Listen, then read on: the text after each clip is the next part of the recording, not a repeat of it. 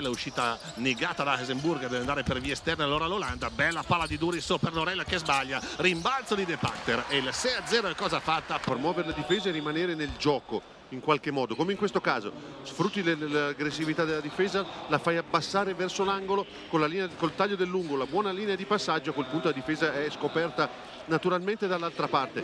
Se inventano molto ravvicinate basta sbagliarne uno azzeccarne due nel momento giusto e ti metti in una buonissima posizione tutto può succedere davvero all'europeo però indubbiamente l'Olanda parte sfavorita contro campo in questo momento difficile. Bella partenza di Polt però poi fa vedere troppo il pallone a Smolders che glielo strappa dal palleggio. Grande palla per la corsa di De oggi non è la miglior giornata di questa Trentino Cup. Torna Jozo Rados sicuramente meno elegante ma almeno quest'oggi più efficace. Già 9 punti a metterlo in difficoltà. 12 secondi per la chiusura della nazione olandese. Worthy De Jong si butta dentro tiro difficile ma è morbido. Poi una brutta caduta di Worthy De Jong che si era buttato a rimbalzo.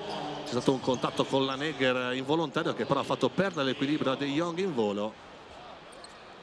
Vedo solo una brutta botta. Andiamo a rivedere. Canestro un po' trovato per strada poi si butta vedete. Sì, involontario però era girato. Ancora in difficoltà l'Austria l'Olanda è molto vicina ora. Norel finta consegnato poi arriva un grande assist per Worthy De Jong grande intuizione di Hank Norella che ha fatto credere a tutti compreso il sottoscritto che si trattava di una finta di passaggio consegnato invece guardate che palla per De Jong.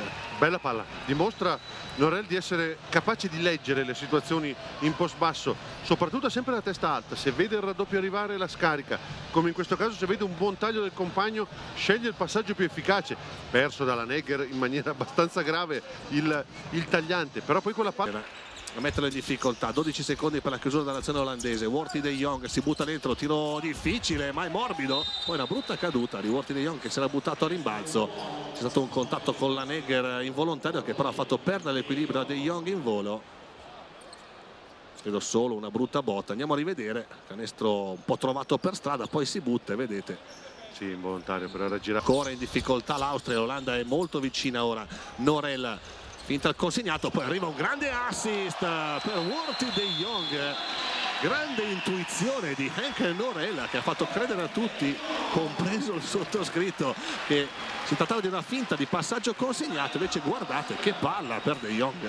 Bella palla dimostra Norel di essere capace di leggere le situazioni in post basso soprattutto sempre la testa alta se vede il raddoppio arrivare la scarica come in questo caso se vede un buon taglio del compagno sceglie il passaggio più efficace perso dalla Negger in maniera abbastanza grave il, il tagliante però poi quella palla